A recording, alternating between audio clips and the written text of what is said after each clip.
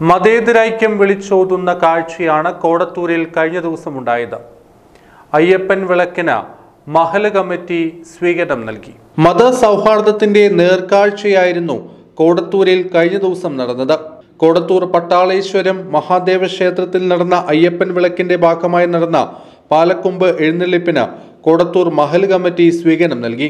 ജാതിക്കും മതത്തിനുമപ്പുറം മനുഷ്യൻ ഒന്നായിത്തീരണമെന്നാണ് മഹൽ കമ്മിറ്റിയുടെ സ്വീകരണത്തിലൂടെ വ്യക്തമാക്കിയിരിക്കുന്നത്. മഹൽ പ്രസിഡന്റ് ഉമ്മർ മൗലവി സെക്രട്ടറി അബ്ദു മാസ്റ്റർ മെമ്പർമാരായ Nabi Muhammad Razak C K Babu K C Ashraf P V P M Rasheed Moosakutty Ibrahim Azeez P V Moidu തുടങ്ങിയവർ നേതൃത്വം നൽകി.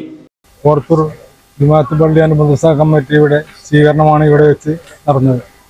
ഇതുപോലെ തന്നെ നമ്മുടെ നബിദിനാഘോഷത്തിന് കൊട്ടാളേശ്വരം കമ്മിറ്റി ഇവിടുത്തെ കുട്ടികൾക്കും അധ്യാപകന്മാർക്കും അതുപോലെ രക്ഷിതാക്കൾക്കും ഘോഷയാത്രയിൽ പങ്കെടുത്ത എല്ലാവർക്കും പായസം വിതരണം ചെയ്യാറുണ്ട്. ഇവ മതസൗഹാർദ്ദം നിലനിർത്തുക എന്നുള്ള ഒരൊറ്റ ഉദ്ദേശം കൊണ്ടാണ് ഞങ്ങൾ ഈ തരം പരിപാടികൾ ആരംഭിച്ചിരിക്കുന്നത്.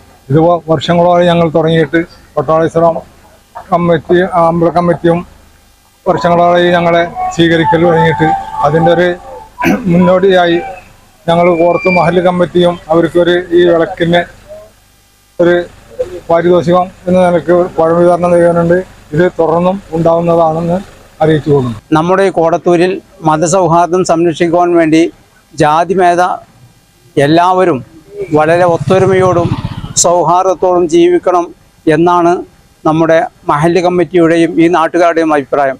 ആ ഒരു സ്വീകരണത്തിന് വേണ്ടിയാണ് ഞങ്ങൾ എല്ലാവരും ഇവിടെ ഒരുമിച്ച് കൂടിയത്. എന്നും ഈ നില ഈ ഐക്യം നിലനിർത്തണമെന്ന് എല്ലാവരെയും ഉണർത്തുന്നു.